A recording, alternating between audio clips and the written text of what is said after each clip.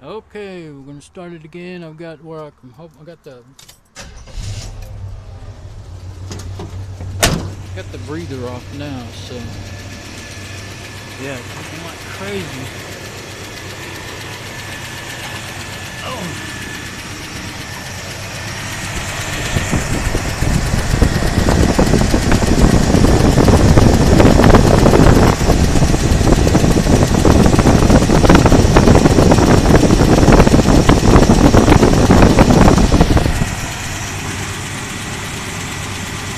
Okay, I see it.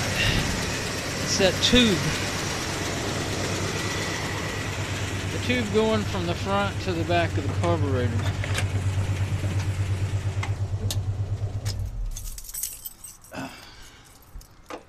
Put that back in there. I'm gonna need it again. Probably. Well, maybe not. Terrible video. I know.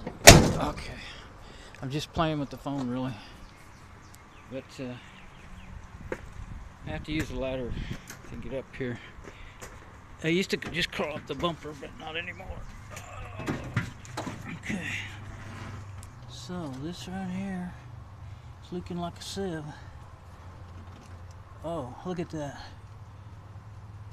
I can turn it and it's bent. How strange. It's an aluminum tube going from the front to the back of the carburetor and you have to take the bowls off to get that out of there. There's one on the front and one on the back of this old Holley. I bought this brand new back when I first got the truck in 92 had something similar on it but it was kind of wore out and not working good. So I don't believe I'll be doing that today. It is nice and cool. Could get the bowls off. I've actually been watching a bunch of hot rod, hot rod video, hotrod.com. You know, Motor Trend is who owns it now. Let me put this around there. I don't want to get my phone all greasy. My fingers are dirty. So I put it in my other hand so I could give myself a video of the back side. Let's see. I'll use my gloves to wipe my finger a little bit. Okay, let's do that. Just a guess, but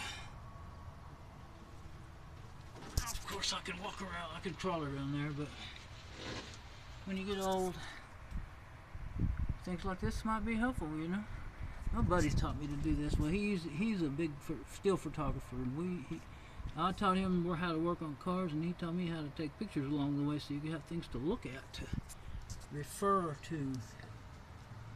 It really is helpful, and I think videos will be even better.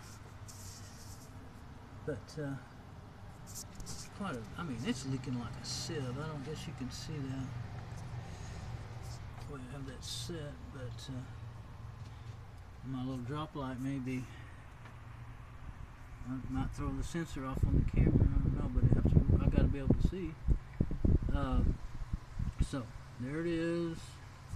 That's the problem. I had, I had put bunch of gasket sealer on this because I thought it was this was leaking the last time I worked on it several months ago.